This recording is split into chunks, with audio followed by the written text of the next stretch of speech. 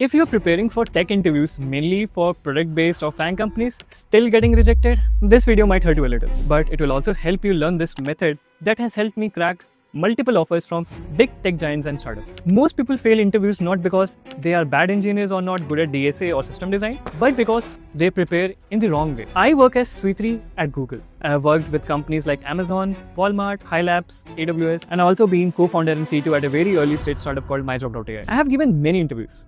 I've failed some, but I've cracked many. To be precise, I've cleared more than 100 interviews and grabbed offers from FAANG companies. So what I'm sharing today is not just a theory, it's what actually worked based on my interview experiences. I was a very average guy from a tier 3 college who never dreamed of working at such big companies like Google, Amazon, or building his own startup. And I believe, strongly believe this, if I could pull this off, then you can too. That's why I'm here to tell you about this method which has helped me and will help you prepare better, develop a mindset that will help you in a longer run. But before that, let's talk about what's going wrong in your preparation and why you might be failing your tech interviews again and again. Stay a little longer and I'll share this method in next few minutes. So let's discuss the core problem. Most engineers don't fail at interviews, they fail at interview preparation. What usually goes wrong is solving random DSA question on LeetCode or following random LinkedIn's Bhaiya Didi DSA sheet, watching random system design videos, or maybe binge watching some playlist, thinking that if I'm done with this playlist, this will be enough for my system design round,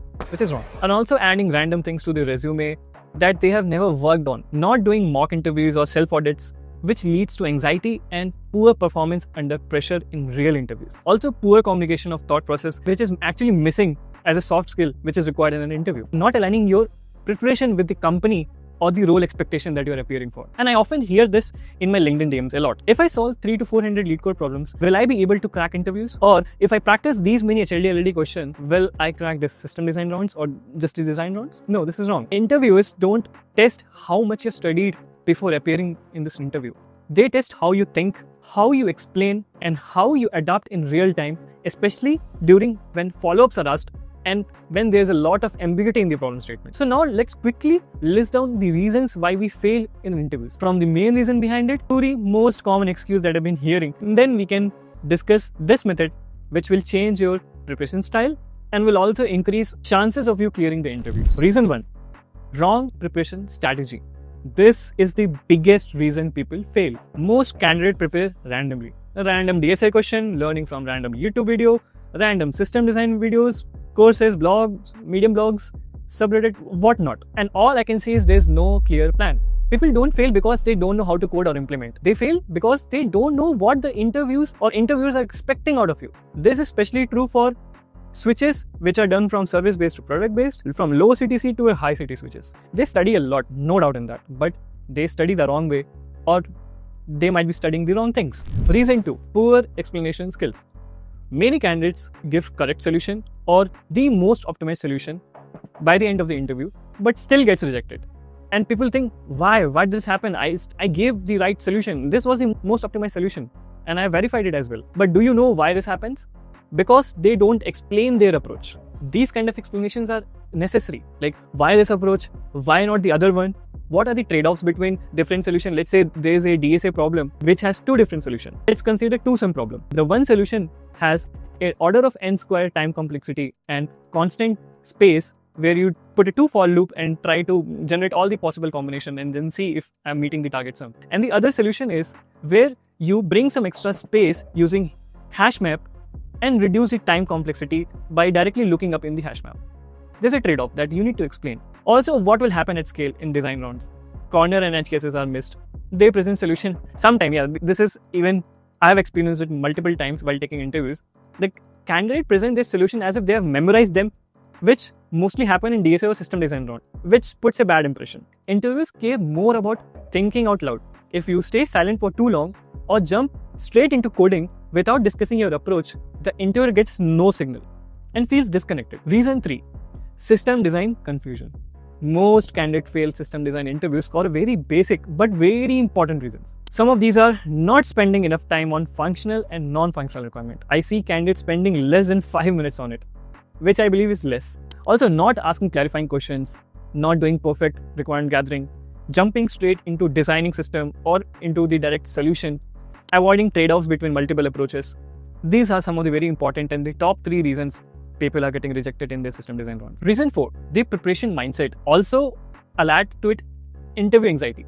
This one is subtle, but people treat interview like exams. They think one mistake and it's done. I'm rejected. But no, due to this they panic, but they don't understand that interviews are more like discussions that you and your interviewer does. Not exam that if you make one mistake and you are done. Definitely you are being judged on your mistakes and you might score less. But interviewers actually expect is you making small mistakes and catching them during the dry run of a solution, making correction or fixing the bugs. Iterating more than once before actually submitting the code or the system design that we've done so far discussing to and fro with the interviewer, bringing you both on the same page. You should keep asking to your interviewer, are we on the same page? Am I understanding the correct problem statement? Is that what the expectation is? These kind of questions are necessary. If you're not doing, you're missing something. Also, let's discuss what kills candidate is defending wrong answer or being too rigid on the correctness of a solution, getting stuck at a point and not asking for hints, not adapting or appreciating interviewers' feedback on a solution. These are some of the points that a candidates need to keep in mind while appearing for interviews. Reason 5. I don't have time.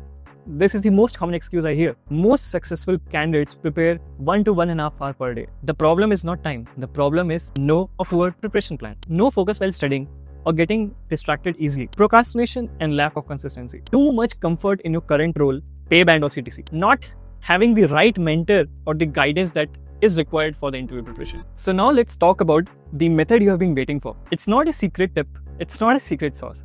It's simply how I prepared and it's okay if you don't like it at all. Just to set the expectation, I cracked Walmart and various other companies with less than two days of preparation because I exactly knew how to prepare using this method. And you might ask how. Let me explain this method step by step and you can skip some steps if you already know them. Step 1.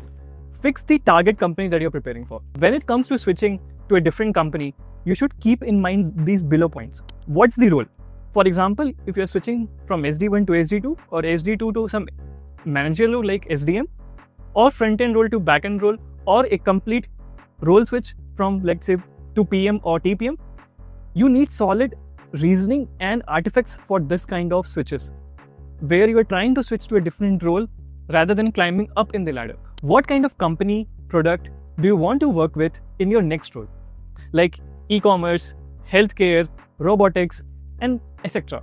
This might be a big concern for many, but I do consider this to add variety or to increase exposure in my career by working in different domains. Last and very important question What is your expectation in terms of salary or CTC hike? Do a good research on what is the current industry benchmark for your role and the experience you are currently holding. For this use case, I use levels.fyi and recent LeetCode compensation discussion section of it. This will give you a fair idea on how much you can expect and will definitely help in salary negotiation in HR. This will help you filter out companies that don't fall under your radar or ex- expectation, hence bringing a clear target in your preparation. And when your target is clear, I believe your preparation becomes sharp. Without this, you are just staying busy but not productive or effective. Step 2. Stop counting LeetCode questions solved or total number of questions solved for a particular interview. A very common question that I get in my LinkedIn DM is how many LeetCode questions should I solve? Is 3 to 400 enough? That question is useless because you can't predict what can be asked to you, but you can get the probability of what being asked more frequently for a particular company, say Meta. I recently shared a Meta interview experience. You can check it out. All the questions were predictable because I had solved them in my preparation journey or my preparation time. Let's say DP or graphs, it is asked more by FAANG and product based companies. So practice those more. So what matters is can you recognize patterns under pressure or can you code, implement, discuss your solution within 45 minute or time constraint or let's say 60 minutes. So what I majorly focused on was one pattern at a time. All DSA question can be categorized into 10 or less patterns, mainly binary search, sliding window, dynamic programming or recursion, graph entries, two pointer, greedy algorithms, constructive algorithms, and then few problems per pattern before hitting the interviews.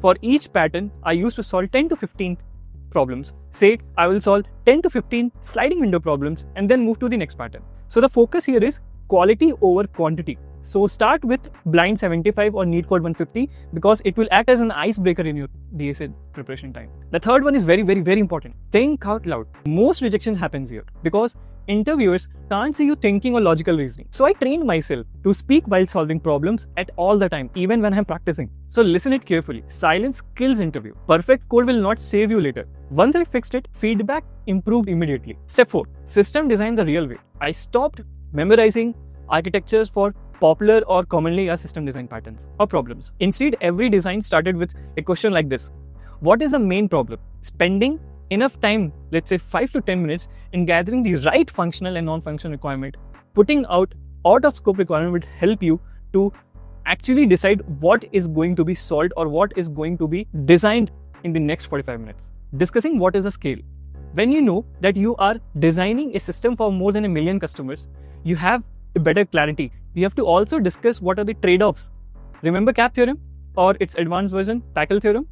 Consistency over availability. Yes, you need to fret on this because this helps you understand the product better in terms of whether you whether your system demands low latency or high availability because memory is cheap but latency is expensive remember this thing as an sd2 you should always fret on latency interviewers don't want fancy designs or boxes and arrow that you draw they want clear decisions or reasons behind your choices, like why a NoSQL database fits better here rather than a SQL database. Also, I've started a system design ladder series that will help you learn what exactly needs to be learned for a system design round.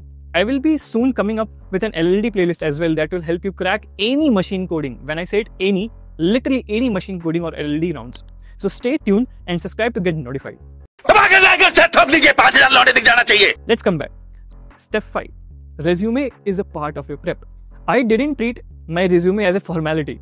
Many people do. Every time when I had to apply to a company, I changed my resume a little bit to align it with the expectation from the JD, the job description. Every line on my resume was something I was ready to defend an interview. If I couldn't explain what and why of any pointer in my resume, I will simply remove it. Your resume is your face, so don't lie on your face. Ask this to yourself. Do I have my resume prepared before applying. Prepare a resume based on the company you are targeting rather than keeping a single generic resume that will not fit for all the jobs you're applying. Change it to add keywords that will help your resume to pass the ATS system or manual filtering, which is sometimes done by HR. For example, while applying for Amazon, I would have add more AWS related knowledge into my resume to add more weightage. Sometimes your resume decides the direction of your interview. I'll give an example, a real life example from one of my interview at Amazon. From my Amazon system design round, where the interviewer asked to design what was mentioned exactly in my resume, that was distributed rate limiting. Step 6. Mocks with feedback. Mock interviews are more important than your real interview. More and more. And I mean it when I say it. After every mock, you know, what did I do wrong? Where did the things go wrong? Where did I make mistakes? Where did I confuse myself? Where did I overcomplicate it? Once you know this, you get more confidence. Without a mock, you will be like that gym guy who always skips leg day. Step 7. Preparation with a full-time job. I have been asked this question hundreds of times. How do you manage your time to prepare for interviews along with your 9 to 5 full-time job? To be honest, or we never have had enough time. Most days, it was 15 to 30 minutes or max to max 2 hours on weekends. Or sometimes I had to skip because of developer life, right? But I always stayed consistent. And I can say that consistency is the key here for me. Short, consistent, structured beats long weekend grind. So try to be really, really consistent no matter what time and what day you're preparing. So before we close, this method works because interviews are very structured. Interview question patterns repeats. Mistakes are predictable and fixable by giving mocks. Some days you'll feel slow. Some days you'll feel dumb. That's normal. I've been there while preparing for interviews. If interviews feel scary, your preparation is probably weak. So you need to work on that. This method can improve your chances of landing better roles and companies. So let me know in the comments what you want me to talk about in my next video. See you then. Bye.